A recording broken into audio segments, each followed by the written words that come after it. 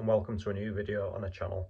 It's Saturday the 23rd of July 2022 and today for the first time this season we're off back to the International Stadium. It's Gateshead versus Harrogate Town in a friendly.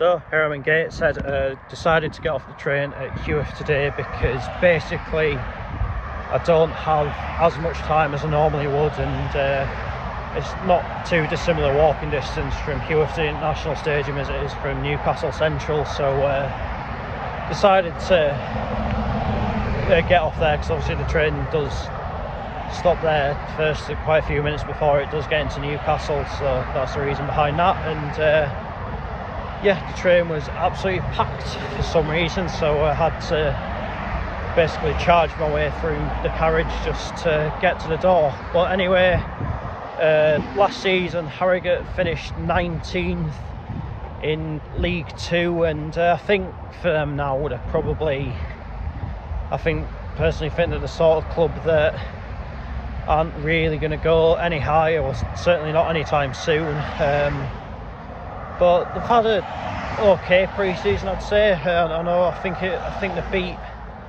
Huddersfield. I think it was. So that's pretty impressive result. And uh, the other night they drew with Barnsley, and uh, I think they might have got beat off Sheffield Wednesday, something like that. I'm not too sure, but uh, sounds so they're preparing okay. And uh, yeah, as for us, uh, obviously we were beaten one 0 at Hebburn the other night in that blazing heat all, and today I tell you what it is notably cooler I mean very considerably cooler. Um, so hopefully that'll mean uh, obviously playing on a on a slicker pitch and things like that we'll be able to get some proper rhythm going. And I imagine we'll play a basically full strength team today I know the Aaron Martin's expected to get his first game, obviously the player we got from Harrogate. Um, so yeah, it'll be a good test for us today. I think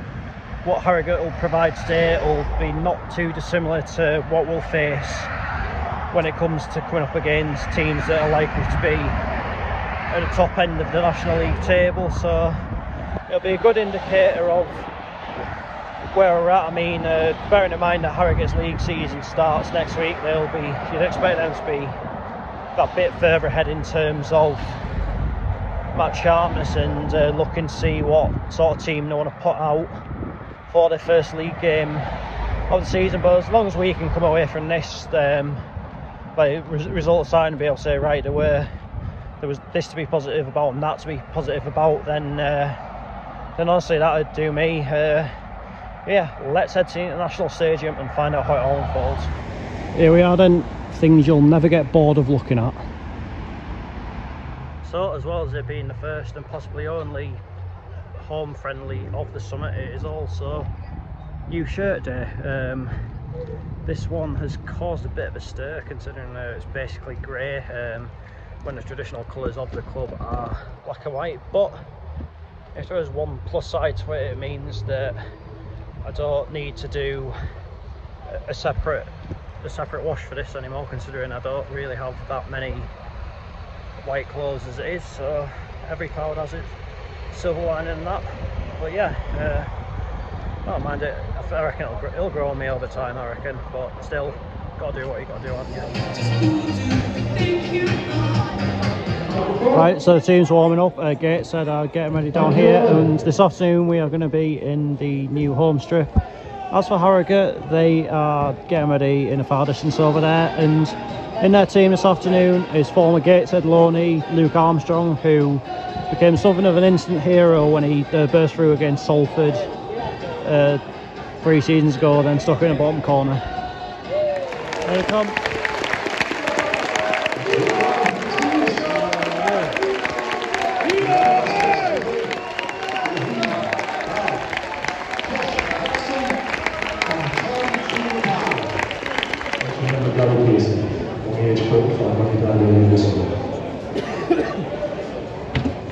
Arm on the way.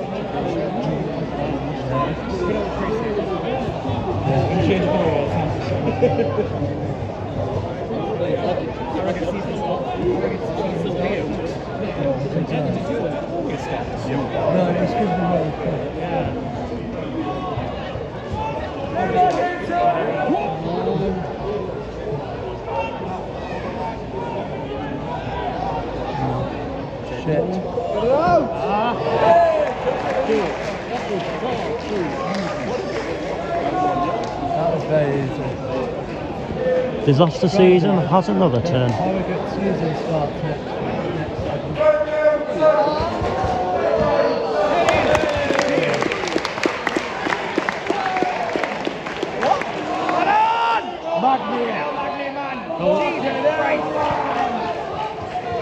That was shocking, that.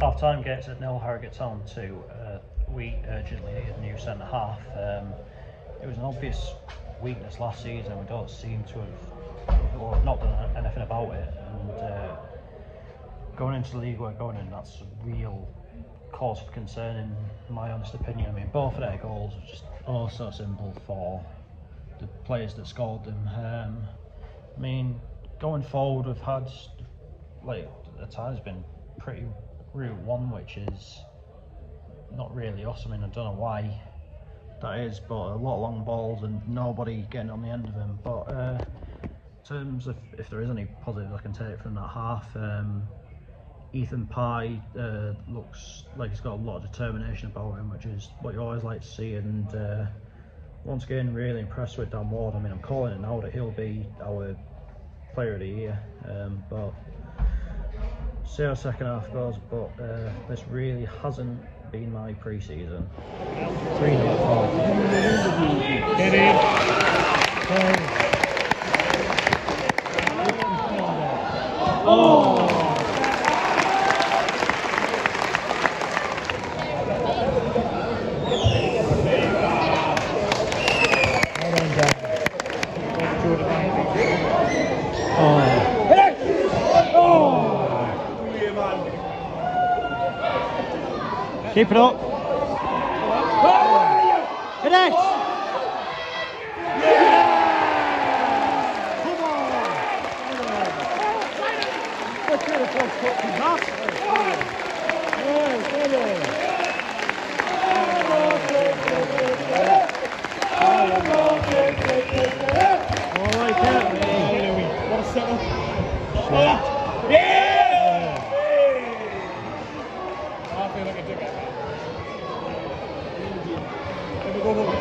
Another defensive mistake. That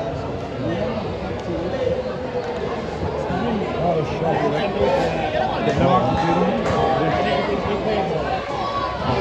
Oh,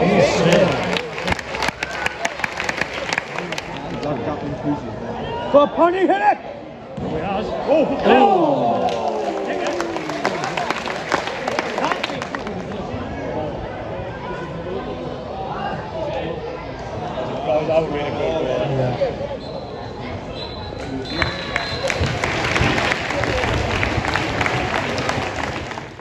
time Gateshead 1, Harrogate Town 3. Uh, if we look at on the positive sides of today, I thought in the first half, as I mentioned, I think at half time, Ethan Pye did look pretty good. Uh, he looked very determined, which is something you always like to see. Then uh, I think played all right in the second half, and I think when Aaron Martin came on, he gave us a, like a, a bit of what we were actually missing up front. Um, but I think in terms of the overall display today, I think uh, we were basically bullied by Harrogate, weren't we? Like that's probably the best way you can put that. I mean, don't get me wrong, it's maybe sort of to be expected. Uh, obviously, Harrogate are in League Two and uh, very evidently there for a reason. I think they'll do okay in League Two this year. I mean, I don't think there'll be anything special, but uh, certainly, I can't see them being in any real bother at the wrong end of the table. But uh, I think, think for us as well, uh, the passing as the passing was a bit off today. Like, um, I seem to give the ball away loads and things like that. Um, but where do we go from here? Well, uh, I think for a start, we do need to get another friendly sorted for next week, even if it's playing Hebburn again or playing against either Newcastle, Sunderland, or Middlesbrough's under 23s. I think we just do need something just so we can get that bit of match sharpness to go into the new league campaign with. And uh, I'm not going to lie, I do think we need a, a new centre half because uh, I just think. Um, I just in terms of a centre half, I think we need someone that's um, like, like